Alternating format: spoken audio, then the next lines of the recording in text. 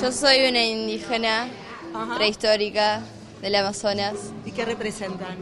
Vamos a hacer una danza homenaje de los indígenas, un ritual sería. muestra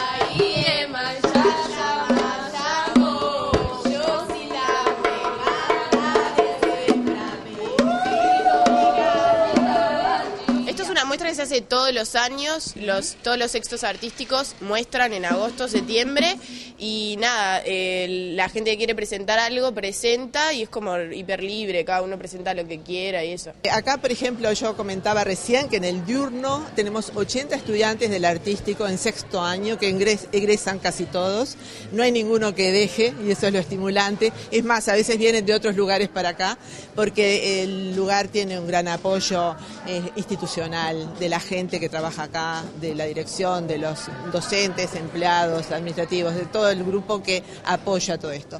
Y el estudiantado es fantástico. No me había dado cuenta lo lindo que es lo que es lo artístico, es un liceo que te ayuda mucho a darte cuenta, puedes expresarte bien y, te ayuda a sacar toda la parte artística que tenés adentro y le agarras más cariño también te invita a justamente eso, a, a desanimarte, a animarte, a, actuar, a mostrar todo lo que, a dar todo de, vos.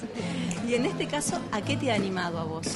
Yo en realidad es la primera vez que canto en público, en realidad más que en frente de mi familia, ¿no? Así que bueno, fue este, una buena oportunidad para justamente quitar ese miedo y mostrar básicamente qué es lo que, lo que uno tiene y que le puede ofrecer a la gente. That's right, hit road, Jack. Don't come back no more, no more, no more, no more. Hit road, Jack. Don't come back no more. What you say? Hit road, Jack. Don't come back no more, no more, no more, no more. Hit road, Jack. Don't come back no more.